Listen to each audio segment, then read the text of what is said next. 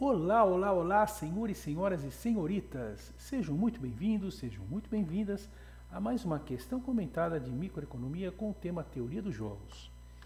O que será, amigos e amigas, que os nossos almiguinhos trouxeram hoje? Diga lá, economicão. Fala pessoal, aqui é o Economicão. E aí, Blair, encontrou outra questão de tabuleiro? Ah, economicão, quer dizer então que você e a Blair conseguiram achar questão de tabuleiro. É isso que eu estou entendendo. Vamos ver o que a Blair tem para dizer para a gente. Tudo em paz, amiguinhos. Acertou de novo, economicão. Foi difícil, mas encontrei outra questão de tabuleiro. É a minha preferida. Ah, legal, Blair. Muito obrigado, viu? Você sempre muito bem educadinha, né? Trazendo as questões. Legal. Vamos, vamos então resolver a questão para os nossos alunos. Questão da Prefeitura do Rio de Janeiro para o cargo de economista no 2016. Com relação ao jogo descrito pela matriz de ganhos abaixo, pode-se afirmar que, portanto, amigos e amigas, uma questão do tipo positiva, o examinador quer saber a resposta correta. Vamos então analisar. Nós temos aí dois jogadores, jogador A tem estratégia alto e baixo, jogador B tem estratégia esquerda e direita. E aqui tem os ganhos de acordo com a combinação das estratégias. A letra A diz que o equilíbrio de Nash é eficiente no sentido de Pareto. Será mesmo?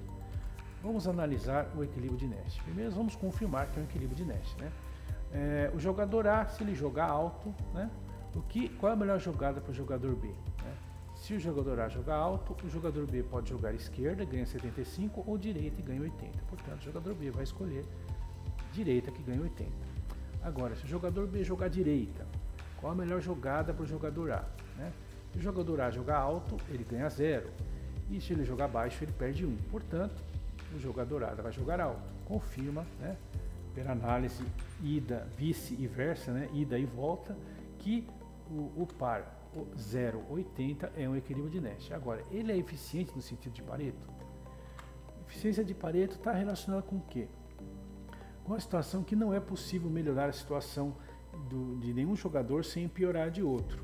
Ou seja, será que nós conseguimos aumentar os ganhos desses, desse par aqui para os jogadores sem piorar de, de ninguém? Vamos ver essa célula aqui. Ó. A célula é, baixo esquerda, você tem ganho 10,90. Ó, de 0 aumentou para 10 e de 80 aumentou para 90. Então é possível aumentar sim os dois. Né? Se é possível aumentar os dois, quando você muda para essa célula baixo esquerda, confirma que alto direita não é eficiente no sentido de Pareto. Que se fosse eficiente no sentido de Pareto, você não teria como melhorar. Beleza? Então a letra A podemos eliminar. A letra B diz: as estratégias esquerda e direita são dominantes. Vamos ver a estratégia esquerda. A estratégia esquerda né, do jogador B seria dominante. Se ele jogar esquerda, ele pode ganhar 75, que é pior que a direita. Ó, já, já viu que, na primeira já viu que não é dominante. Na segunda, ele pode ganhar 90 e a, a outra ele ganha, ou seja, não é esquerda, não é dominante de maneira alguma. Podemos eliminar a letra B. O jogador A e B, os jogadores A e B não possuem estratégias dominantes. Será? Vamos analisar aqui a, a, estratégia direita para o jogador B. Veja, se ele jogar direita, ele ganha 80, se o jogador A jogar alto. Então é maior do que 75. E ele ganha 100 se o jogador A jogar baixo, que é maior do que 90, se, fosse a, se ele escolhesse a, a estratégia esquerda. Portanto, a estratégia direita ela é dominante para o jogador B. Logo, você pode eliminar a letra C, que diz que é, é, eles não possuem estratégias dominantes. E o gabarito, portanto, a letra D de dado, que diz que o equilíbrio de Nash não é um equilíbrio de estratégia dominante. Porque, veja, é, a, gente, a gente viu aqui que o equilíbrio de Nash está aqui, né? É, a estratégia alto né, para o jogador A, ela não é uma estratégia dominante, porque o baixo você ganha 10 em vez de perder 1. Né?